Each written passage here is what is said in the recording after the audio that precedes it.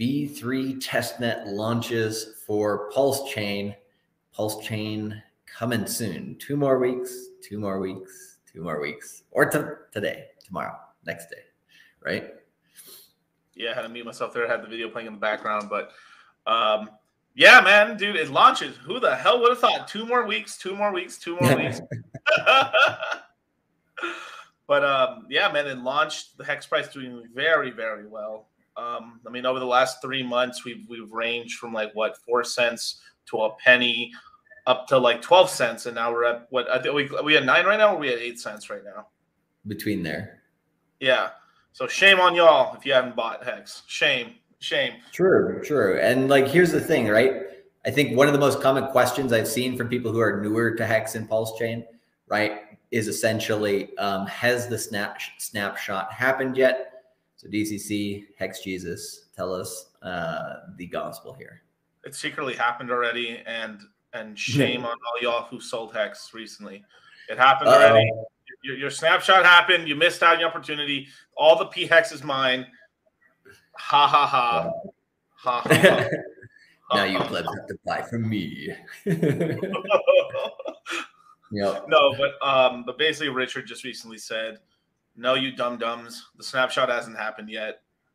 We're planning as soon as the snapshot happens, we're planning to launch the main net within a, a particular set of time and stuff. So um, there's a lot of people saying there's no such thing as a snapshot. Snapshots are fake, Miguel.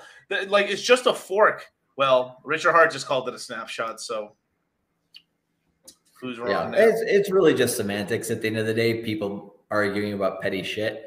Um, I mean, I'll, i just wanted to show Richard Heart's tweet here just so everybody knows. Uh, oops, I think I was looking at something else here. Where is that? There we go. This one here. Um, what do we got here? Uh, is this the one I'm looking for? Yeah, this is what I'm looking for. So he says, right, some people think that they missed the pulse chain mainnet uh, snapshot slash fork. So he's basically calling them the same thing. They're wrong. It hasn't happened yet. So when you know, he doesn't say this explicitly, but it makes the most sense since it is a fork, right? The snapshot will happen at the fork, as me and DCC have been basically basically been discussing with the crypto mindset course for a very long time. I don't even remember like several like a year over a year now. So um, pretty much as expected there. But yeah, just you know, I'll throw this one in the chat as well, just so that you know people can kind of be like, okay, I got it from the source, and you know, uh, it's good to go. I, also want to can you pull up can you pull up his Twitter one more time, real quick? If you just click on his Twitter, he had some really interesting posts today. Um, two or three of them really that I, am going to talk on my show as well later on on Tuesday. But um, is it kind of, kind of about FDICs, FDIC insurance and stuff, and kind of how to like protect yourself if you have a lot of money? So since the since the Moon Gang here made a lot of money, this is so anyone that's brand new to the channel. I'm sorry this excludes you, but all the guys who've been watching the Moon Gang for a long time, you know this is this tweet's for you.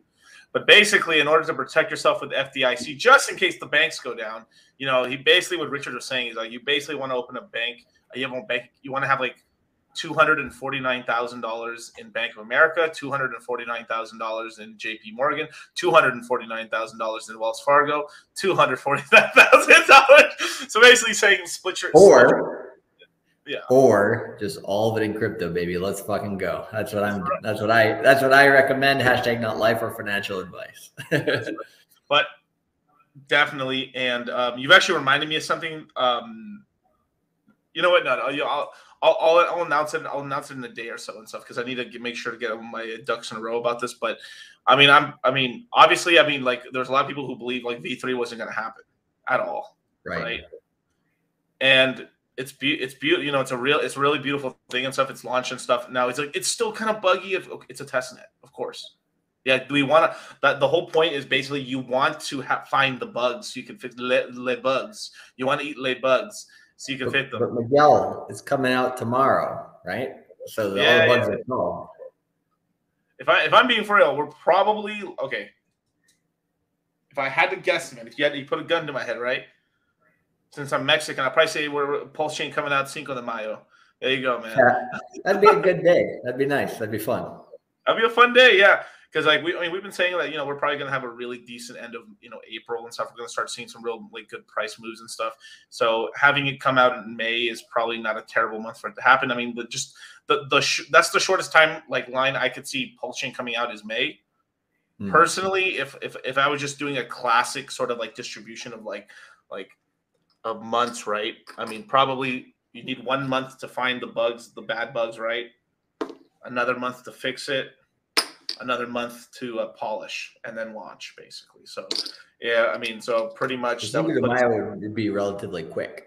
Yeah, relatively quick, but but remember remember this what me and Charlie have said about for a long time is that the that the founders of projects market time. I know this is haram and you can't say that, but it's true. You do. There is market timing. You don't like. Let me launch. You know what? You, hey, you know, Charlie. I've been working on this project for a really long time. How about we launch it on the day Luna collapses? Yeah, let's yeah. do it, bro. this, this is the time. I said this. I, I'm a man of my word, and I say, I said I will launch it right here, man. And you know, and or like some. How smart would it have been to have launched your project on the on pegging of USDC? Hmm. You know what? Three Arrows Capital just went down. I think it's a great time to try to get VC capital into the project. you know, it, it, yeah. But you know, yeah, I agree. It's one of these things where it's like uh, market timing is essential. And here's the thing that we were discussing a little bit earlier today. Um, one of the things that I find really interesting about where we are with Bitcoin, Ethereum, the stock market, everything basically right now. The thing that I find interesting is that I think by the time we get to the end of May, right now we start getting into a peak season of terms of like an alt season and mm. some euphoria phase, extra greed, greed phase, and things are really rocketing. I think that's a high chance, a high possibility. And right. so with Pulse Chain being launched just before or just into that, um, I kind of look at when are the best if you if you want more hex right now for that snapshot, right? Because that hex is probably going to either equal uh, how Ethereum or outpace Ethereum on the market. So, you, and then you're going to get uh, your coins on the uh, Pulse chain side. So, um, yeah, you right now it's a great time to load up on Hex, right? But it's like okay, doing it strategically, understanding that okay, probably not in April that we're we're not going to get um, you know, Pulse Chain launching in April, most likely, let's say 95% chance. So that means in the current 60 day cycle, which would, if we go a full 60 days on Bitcoin, ends around May 9th, um, somewhere within there, we're going to have basically two opportunities to buy Hex more, right? And I would say that first opportunity is basically here right now, between now and when the Shanghai uh, update happens on Ethereum on April 12th basically that period of time, the end of the month and the beginning of the month, going into that update for Ethereum, that's going to be kind of a volatile period, choppy period. And so um, we may not price appreciate crazy from from here, but during that chop, it's a good accumulation time essentially. So as long as you guys are accumulating during that time, I think that's going to be the best. Um, and then the second best is going to be the end of April, going into uh, the first half of May. That area probably is a good another good accumulation area um, but it might happen. It might not last quite as long. You might have, you know, you might have to act really damn quickly. Um, but we'll see when we get there. There are two other scenarios where we could be at extremes, but I'll just kind of keep that main middle scenario there because that's what I think is most likely to happen. And then at the beginning of the next 60 day cycle, if Pulse Chain were to launch, that would be launching basically into the beginning of uh, like crazy, the, the over exuberant part of alt season.